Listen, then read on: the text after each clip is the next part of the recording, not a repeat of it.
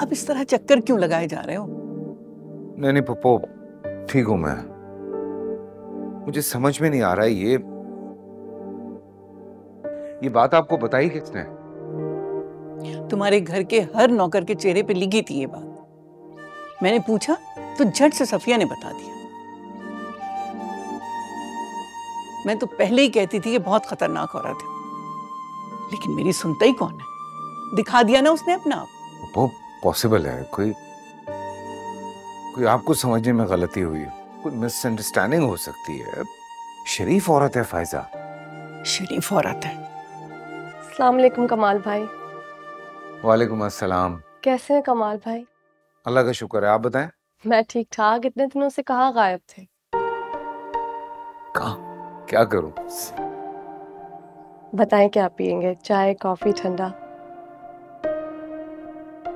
चाय पिला दे लेकिन सिर्फ़ चाय कोई तकल्लुफ नहीं। मैं अभी बना कर लाती हूँ। थैंक यू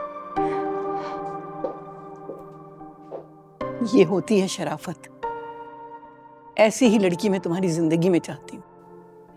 जिसकी आँखों में हया हो शर्म हो जो जिम्मेदारियों को समझती और निभाना जानती हो। वो देखिए मैं तो हाँ सफिया बोलो। साहब आइजल बीबी क्या हुआ आयजल को? वो घर छोड़कर जा रही है। व्हाट आ रहा हूँ मैं। पुप्पो मैं कॉल करता हूँ आपको। क्या हुआ? पुप्पो कॉल करता हूँ मैं। अरे चाय तो पीते जाओ।